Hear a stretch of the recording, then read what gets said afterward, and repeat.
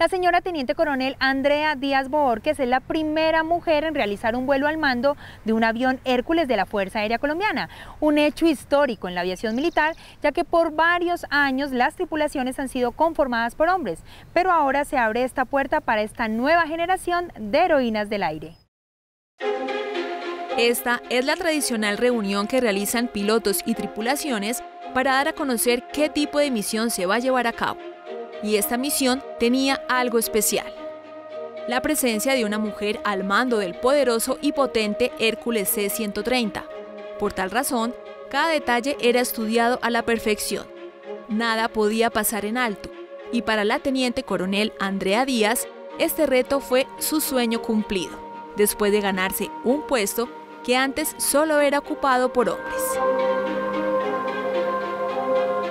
orgullosa y honrada de poder ser la primera mujer que le pueda abrir el campo a las otras mujeres para poder llegar a los equipos pesados de la fuerza donde solamente eh, estaban siendo volados por hombres en un principio.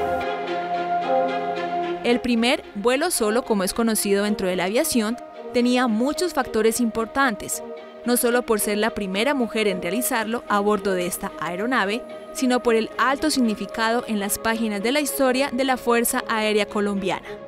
Un anhelo que se veía muy lejos, pero que ahora ya es una realidad. Recuerdo cuando yo era, cuando estaba en la escuela, uno veía el Hércules y uno decía, ¿cuándo voy a llegar allá? Y ahorita lo estoy cumpliendo, lo estoy logrando. Con perseverancia se pueden lograr los sueños. Ay, pero Dios mío, muy cerca. Para esta oficial, su larga trayectoria y experiencia dentro de la institución le ha permitido demostrar sus capacidades y liderazgo, no solo a sus superiores y subalternos, que le dieron ese apoyo importante para asumir quizá el más importante logro en su carrera militar, de la que ya tiene muy claros sus objetivos a futuro. Poder llegar a ser incluso, si Dios me lo permite, instructora de esta aeronave poder transmitir mis conocimientos en un futuro y llegar a ser general, en algún momento, si es posible, comandante de la Fuerza Aérea Colombiana, Astra. Volamos, entrenamos y combatimos para vencer. Ya cumplida la misión de transportar personal y carga, nuevamente la Teniente Coronel Díaz pisa suelo capitalino, realiza los chequeos y controles finales y cuando se baja del avión rinde los protocolos militares. Y con ojos expresivos y de asombro, ve de cerca los que son su motivación para ser mejor piloto cada día. Y ver a mi familia ahí esperándome fue una felicidad enorme.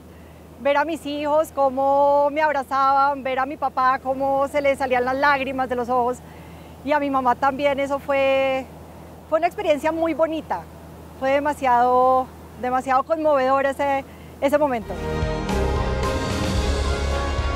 Abrazos eternos, abrazos que reconfortan. Una misión cumplida al mando del Hércules que siempre estará presente para todos los que la rodean. Y finalmente, no podían faltar los aplausos de sus compañeros, en reconocimiento a su excelente labor. Ahora sí, pasemos.